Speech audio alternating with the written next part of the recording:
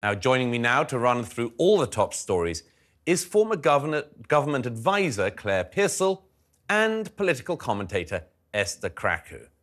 Thanks so much for being with me this morning. Look, let's start with this first story. Um, Esther, perhaps first with you. Uh, this is a pretty amazing splash, isn't it, on the front page of the Telegraph? The yeah. government's counter extremism czar saying that London has become a no-go area for Jews. I, I, think he was quite diplomatic in, in how he said it, because uh, I would actually expand it to many pockets of the country are actually a no-go zone for Jews. And I think the pro-Palestinian protests have kind of take like the, the cat is out of the bag now for many people that have actually ignored the fact that we're living with people in this country that are incompatible with British values. And I think it's an uncomfortable reality that we've had to face because we don't understand that it's actually possible for people to go out into the streets of the capital and shout anti-Semitic, hateful things and think, is this actually Britain? How is this possible? How are we living in 2024 and people are so brazenly doing that? And actually, it's the fact that we've ignored the, the, the, reality that there are certain people living amongst our midst that are not buying into what it takes to actually live in British society, which is buying into British values. You can have political views, but when, once you tread into the territory of actually uh, advocating for the murder of someone just by virtue of, of their religion, their race, their identity, then you, you, are, you are stepping the line. And these people should never have even been here in the first place. But unfortunately, this is where we are. I mean, some of these businesses that are along the route of a lot of these pro-Palestinian protests, they, they are, they're having to close down on days when these protests are happening because they just cannot function because they're terrified for their own lives. There, there are young people in London that say, you know, I cannot wear my religious markings because I'm terrified that I'll be persecuted in London. And I suspect when you go to more ignored corners of the country, sort of uh, in, in areas where communities are far more, even, even more self-isolating, it's probably just as bad. What do you make of this, uh, Claire? I think he's saying uh, out loud what has been known within the Jewish community now for some time, certainly for the last five months, that it, to be Jewish in London is spectacularly difficult. And people are afraid. And yes, I, I, I, do understand your point about extremism and people being allowed to, to do these protests and integration. And I think there yeah. is a wider conversation to be had about integration into the United Kingdom. A lot of the people on these marches are actually here when you sort of see some very white middle class British people taking up the cause that they don't actually understand and they don't know what it is they're backing. Do you think they don't understand it? I do, actually. I think there is an awful lot of, we are going to take this piece of information, we see the humanitarian problem in Gaza. Right which is not a, you know, that is a reasonable position to hold. Do they understand what Hamas is? Do they understand what the rise of a terrorist group looks like? I'm not so convinced. But the, thing is, those people, I don't, those people don't bother me as much because I, I don't think they have any sort of strong like, convictions behind what they're saying. So they're easily swayed. If you can be swayed in this direction, you can be easily swayed elsewhere. I'm talking about self-isolating groups in this country that foster and harbor these extremist views that are not That's... that are not acting because it's you know the cause célèbre or the, the, the sexy thing to, to advocate for. They genuinely hold these destructive, hateful views, and they are they are existing in enclaves in this country, and they haven't integrated or bought into the idea that actually when you're in Britain you accept British values. But I think the problem is that yes, there are those groups, absolutely, and they don't speak English because there's no need to. Uh, they can go to the doctor and the dentist and the shop on the corner and speak in their their own language because that has been allowed to, to happen. But I think we have to be really careful at demonising everybody from a certain community mm. in with those who hold those extremist views. And that is what has unfortunately been happening in the United Kingdom, that everybody that happens to be of the Muslim faith has now been charred with that brush. Do you think they have? I, I really do. Well, you've seen it. The amount of Islamophobia that we have seen on the streets of London. Where's that? Outside the Houses of Parliament. The thing, the thing is, is, is, Islam, Islam, I've seen. I, I, think you mean uh, what is it, anti, I have seen other. Oh, well, the thing is, but the thing is, if you if you look at the biggest critics of, of these kinds of where the, the hotbeds of these extremist ideology come from, uh, the biggest critics are actually other like moderate Muslims because a lot of social and uh, this is not necessarily a religious issue, but if you look at a lot of social data, actually these views are coming from groups of people that have actually not integrated properly into the United Kingdom. Many mm -hmm. of them can't drive. Many of them, you know, don't adopt well, can't speak the language many of them are able to coexist or have parallel lives amongst other communities yeah, yeah. That, that, are not necessarily white British. You can they can they tend to uh, coexist alongside you know uh, black Asian uh, black African community. Uh, well, Black British communities, but well, African British communities, yeah. Caribbean, all of that. So these are the kinds of groups that actually, you know, we, we need to be discussing why why these ideologies are allowed to exist and foster within these communities. and I don't absolute- that's necessarily No, necessarily no, no, and, down to and I think it, but it, does matter. I think religion plays a part of it, and, Yeah. I, and I think that um, places of worship across the country need to look at extremism, and they need to be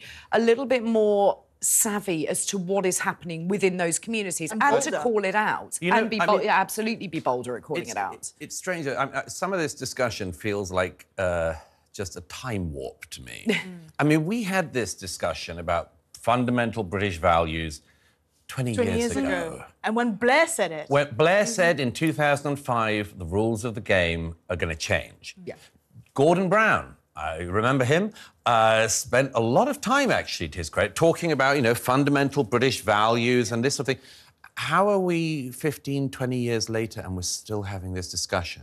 Because we've ignored it, uh, because we've allowed ourselves to be stifled by people that are unwilling to or uh, not mature enough to actually have uh, to engage Yeah. in this conversation. We've allowed ourselves to be silenced by people that are, are wanting to shout racism or discrimination or, or whatever at every corner. The reality is, we all have to live together, and we all have to have a set of values and ideals and an identity that bind us together.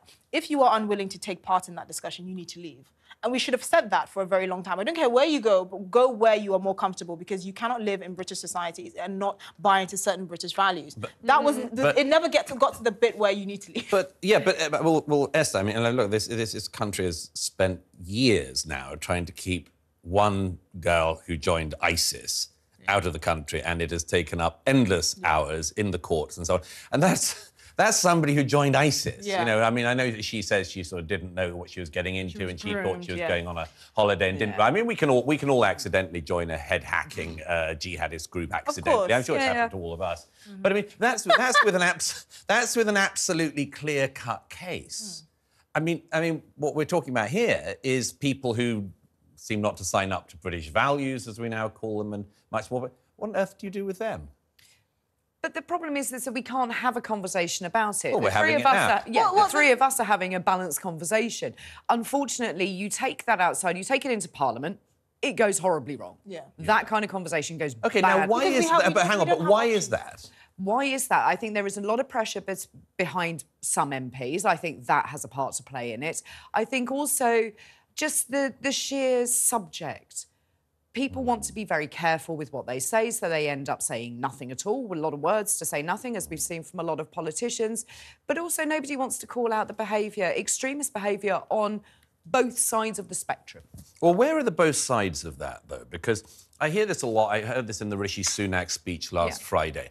He kept on talking about both sides of it. Look, we all recognise that if, if it is the case, as a, even the counter extremism advisor to the government has said, that, it- that London is basically a no go zone for Jews. Well, we know what's driving that. It's a it's a hardcore, mm-hmm. very very driven Muslim ideologues on the streets, some of whom openly support Hamas, Yeah. which is a prescribed terrorist group.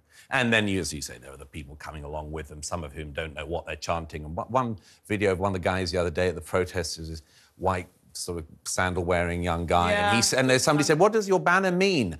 And he said oh i don't really know. And they said well, well where did you get it? Oh that guy over there gave it to me. I was like what? Yeah, who yeah. goes down the street with a banner that just some other bloke's given them? Anyhow those people aside nevertheless you said both sides of it. Where is mm-hmm. the other side of that? Like where is the where is this Where is where other this where is this kind of far right thing? yeah. i'm not saying it doesn't exist. We know that there are pockets of like there, there are like very nasty people in the woodshed. We know that with the murder of Jo Cox. Yeah.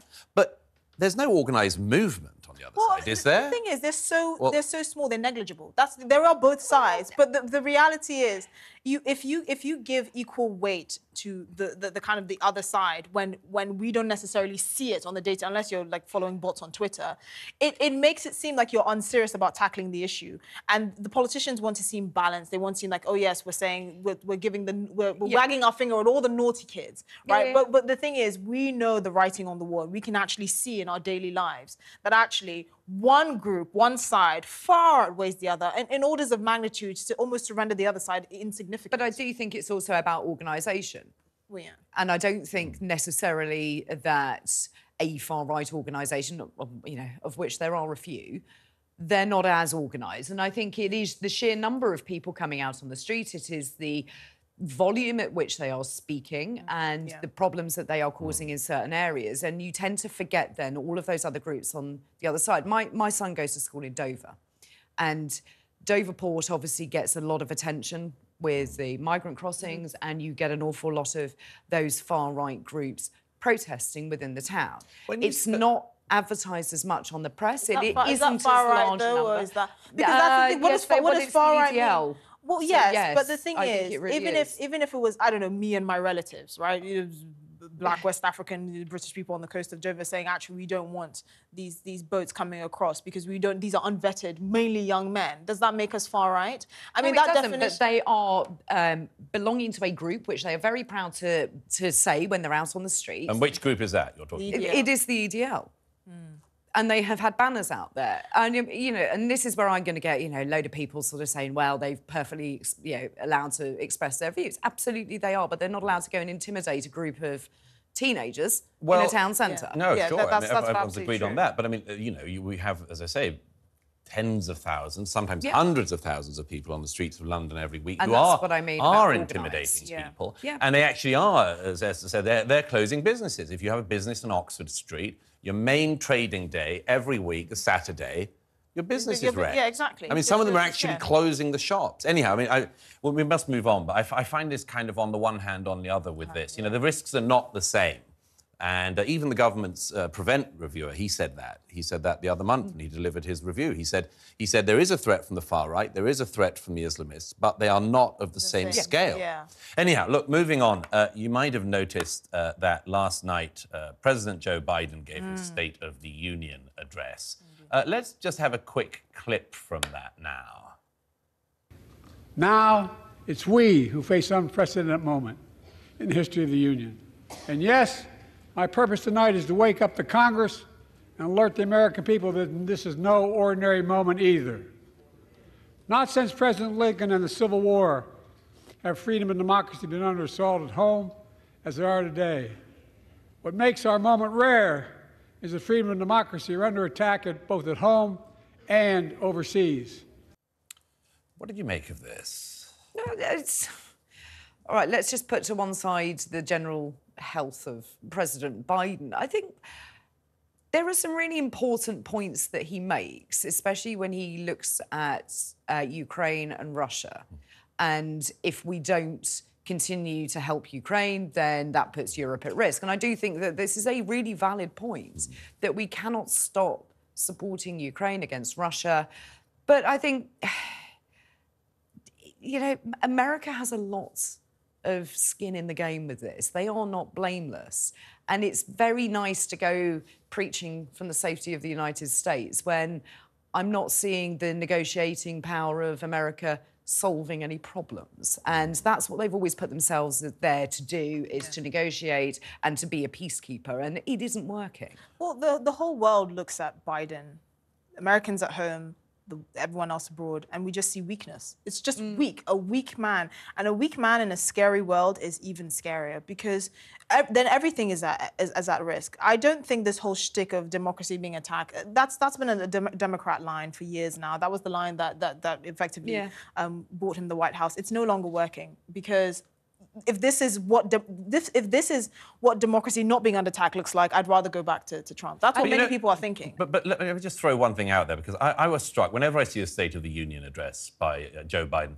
In fact, whenever I see him give an address, pretty much, if he gets through the whole thing, everyone says, well, it's all, it's all exactly, right. yeah. And uh, I mean, my point is, is that in a way, Republicans in the US and elsewhere, and his critics, which he's, he's got a lot of at home and abroad, um, they, they make it so, they emphasize so much his inability to just get through things, his stumbling, his fumbling. I'd argue Joe Biden's always been like that uh, through decades as a senator. He was famous, famous, and as vice president, Obama said this, famous for sort of rambling on, losing his train of thought. That's sort of, pe- that's Biden at his peak. So when people say, "Oh well, you know, it's it's been uh, it's been uh, tricky, it's been a tricky period, he's deteriorating, and much more," don't you think that like this, people like you, Esther, when you say this, you, you talk it up so much that if he just gets through the speech, Speech. if he just reads the auto cue, Yeah. they like "Well, actually, he's all right." Well, yeah, I mean, there's no there's no getting around the fact that this is an old doddering man and he's clearly not very impressive. He doesn't walk into a room and command it. I think the main focus should be on the content of what he manages to get out to say. If he if he manages to, mm-hmm. to to form coherent sentences, that's what worries me. Because even if you had a doddering old man that was actually saying something that connects with, with the average American person and makes them even even feel like they're remotely aware of what, what they're going through, that would be a lot better. But for him to just say vague platitudes like, "Oh, our democracy is under attack," It's a, it's Well, a really convenient headline to exactly. have. It's but it's also empty and it's meaningless. But and, I, and some of the really important things that he did say were at the end, and not very many people have covered. And it's it's talking about overturning Roe v. Wade judgment that, that had gone through the courts. And I think things like that are really really important. What it does. Unfortunately, happen though is that it's got buried under this sort of rhetoric and the headline grabbing of you know democracy is at threat and we must do better. And you kind of think, well, you've been president now for some considerable period of time. Why, didn't why, why now? Yeah. Why think- now are you putting all of this effort into it? And do you think, Claire, that the, the uh, picking up things like Roe v. Wade? I mean, that was the, the, that Supreme Court judgment on, on abortion in the U.S. Uh, that actually did have a huge impact on the Republicans in the midterms. Um, do you think that's still going to be a galvanizing issue at the presidential election in November? Yeah, I absolutely do. I can't see that people are going to let this go. When you've Hmm. got states where it is illegal, you've got people then going to Illegal to have an abortion. illegal to have an abortion, and also now looking at the fact that IVF is considered in some states to to be against the constitution, to be against everybody's human or even, rights. I mean, even fertilizing eggs is now is Yeah. now um, a, and I find this just sort of this grinding down of women's rights in America, land of the free, to be appalling. And I think that women aren't going to let that go. Strong women, especially, aren't going to let that go, and it will be is, a it- big issue. It, it, mat- what matters is how it will play out electorally. So yes, it's an important issue, but for who?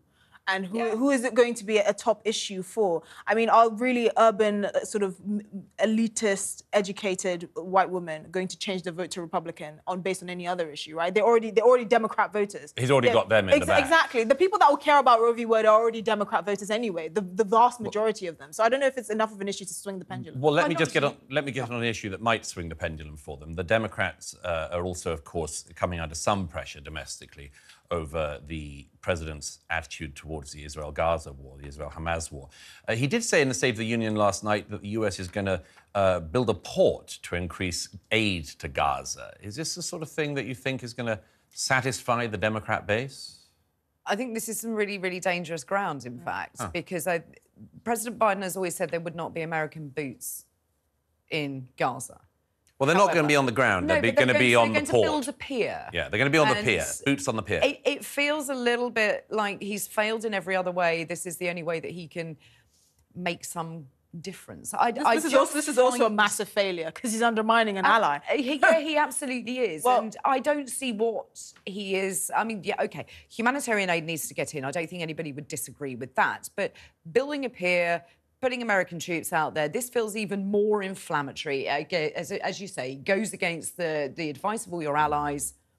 What is and this also going the to achieve? optics, the optics are terrible because having just seeing people running, seeing these Gazans Yeah. running into the ocean trying to get like sort of aid boxes. It's a t- it's terrible optics. And apparently this this port is going to be operational in a couple of months. So now Mm. there's a question mark. What about this great ceasefire you were you or this Yeah. humanitarian pause he was touting? Is that not going to happen now if this is going to be operational in a couple of months? How long is the fighting are you expecting the fighting to last? Which goes back to- to my exactly. Point and, about and then the- the you're also un- undermining your position eh, well his support for Israel because on the one hand you're supporting them but you're undermining them by Yeah. effectively circumventing um, them and saying they're frustrating humanitarian aid efforts so we're going to go around them but we're still supporting them it's a completely haphazard policy I have to, and I agree with Claire. I mean, there, it is. It's very interesting for a president who has prided himself on not getting American troops Mm. involved in foreign conflicts. You know, the amazing thing about this is, I mean, they've done airdrops of aid. There is significant amount of aid still going into Gaza. But uh, the amazing thing about this is, of course, that the minute you do actually put American troops, any troops, anywhere, even peacekeeping troops, of course, they can only go into a theatre of operations if they are able and willing to fire. Yeah. Yes. And this, this is one of the things that's very, very striking to me about this, you know, because uh, we saw the other day with one of the aid trucks that went in, Hamas ended up, uh, or quite often just nicks the aid trucks and takes it for themselves. Uh, there was a big shooting incident still uh, are being argued over, but it seems that Hamas opened fire on some of the civilians, maybe some civilians opened fire. If you put American troops into Gaza, even a few feet in, even on, in, the, uh, in the water, as Yep. you say, Esther, um, if, if you have people flooding towards American troops, and if some of those people are threatening danger in any way, then those troops are going to have to fire. Yeah, it- it's, a, it's it's completely. But again, this this goes back to the overarching point of Biden's presidency, which is weakness, weakness and inconsistency. And unfortunately, you cannot. People are not going to tolerate that for much longer. You cannot say, "Oh, but just tolerate that. Deal with my weakness and inconsistency because democracy is under threat." I'm sorry, the other guy looks like a better option. Thank you, uh, Esther.